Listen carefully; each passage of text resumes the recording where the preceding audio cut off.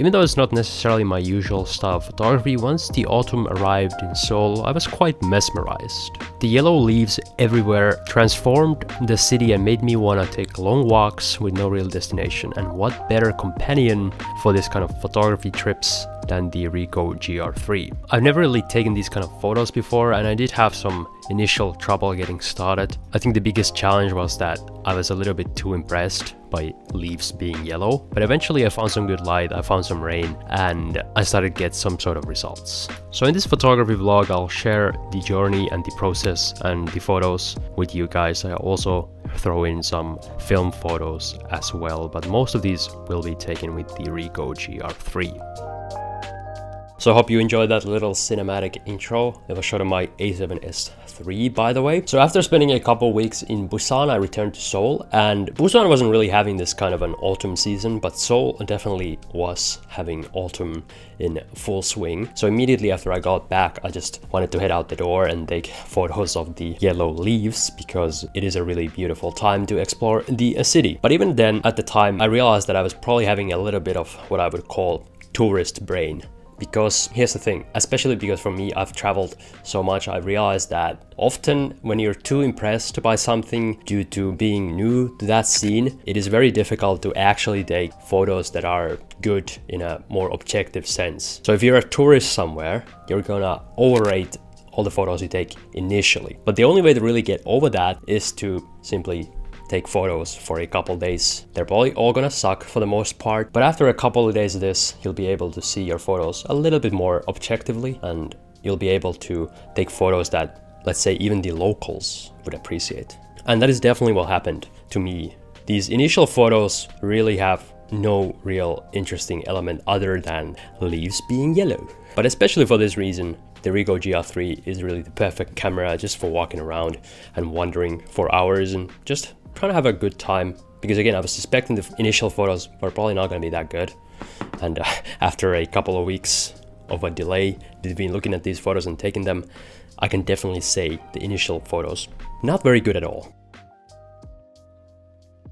So let's jump over to day two. I wasn't gonna do the exact same thing as on the previous day. I wanted to find some way to make these photos a bit better. And one obvious ingredient that I was lacking on the previous day was good light. So I decided to head out a little bit earlier. And even though it wasn't perfect, the sun kept going behind the clouds occasionally. Luckily, there was still some light available and we could take some more traditional type of street photos and definitely my best shots from the day all had one thing in common, they had interesting light and not only leaves being colorful.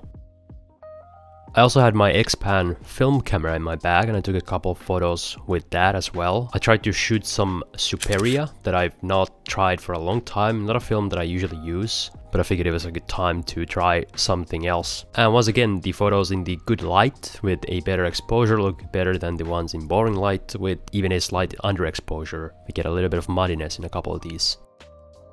And here I discovered a gas station, but unfortunately the light was too bad even for a meme photo.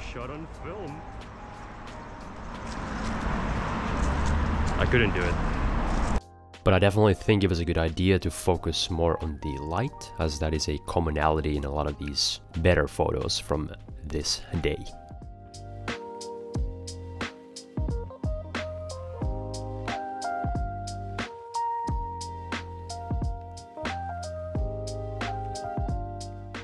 And on day 3 of me being back in Seoul, it was actually raining the entire day. And if you know me, you know that is my thing. I like the rainy moods. That is something that I can actually work with, something that I know how to shoot well.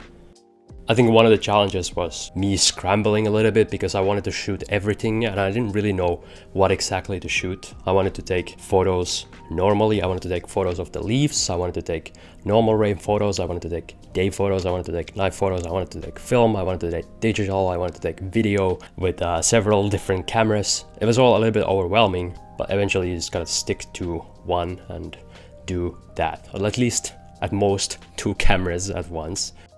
Although one benefit I had on this time is that I was staying in Dongdaemun, which was a pretty photogenic area for my style photography, so I literally just went out for an hour and then went back to the hotel, switched cameras and went back out again. So it didn't end up being that huge of a problem in the end. The X-Pan film photos were kind of meh. I still had the Superia about half a roll left from the previous day, but I don't think it's really the right kind of film for these kind of conditions. And in a lot of these photos, my compositions are just a little bit off and a little bit lazy, maybe rushing to finish the roll a little too much, not paying enough attention.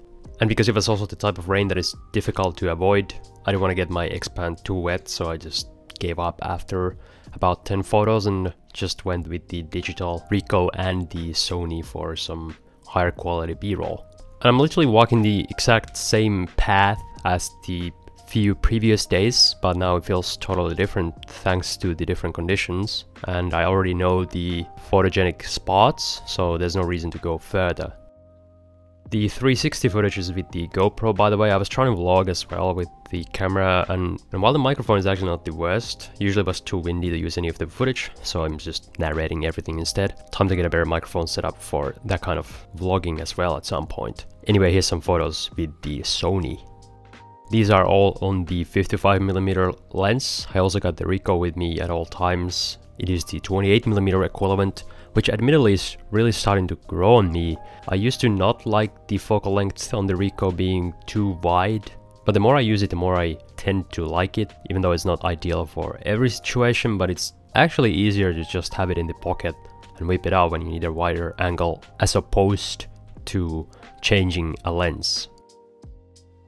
In my last Ricoh video, by the way, somebody commented that this thing is not waterproof. It is not waterproof. Just use an umbrella. It's not like you're giving it a bath. you know, it can it can take a couple drops as long as you're using an umbrella and not making it soaked. Now, what it cannot necessarily take is damage from dropping. I dropped this camera once because it's fine when you're holding it this way, but when you're taking a vertical photo, you have to hold it like this and flipping it around quickly while shooting sometimes it just slips out of your fingers and it hit the ground a couple times already one time the lens extender thing got stuck and I was a little bit nervous, so I punched this camera really hard and it started working. Then the next time I dropped it, same thing happened again and the lens protector flap stopped closing totally. So I definitely think that if I'm ever gonna break this camera, it's not gonna be due to rain damage. It's going to be due to clumsy fingers. But what you're gonna do? It is the only downside literally the only downside of having such a small camera, it's very easy to drop. Anyways, enough ranting, let me show you a couple photos that I took with the Ricoh on this day in the rain. These first two are more my usual style, have zero yellow leaves, hence the darker background as well. The second photo is interesting because the smaller that it looks, the better that it looks. If it's too big on the screen and you see too many of the details, you don't actually see the lady with the umbrella and it loses all of its impact. My upcoming videos will have more of these kind of photos coming up, so many of them in fact, but because we only have a limited amount of time to shoot the autumn leaves, that was the main focus of this day. So let's look at a couple more autumn themed photos.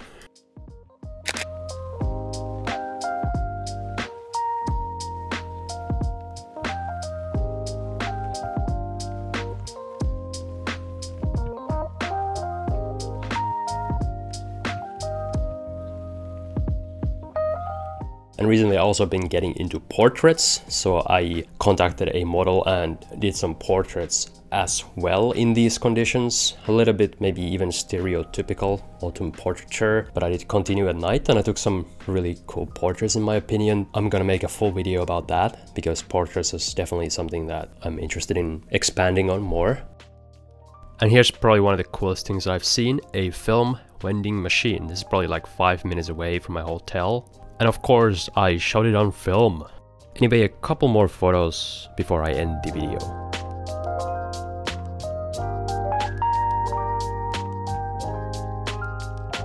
Hope you enjoyed this video, it's definitely new type of photography for me, very educational, very fun time.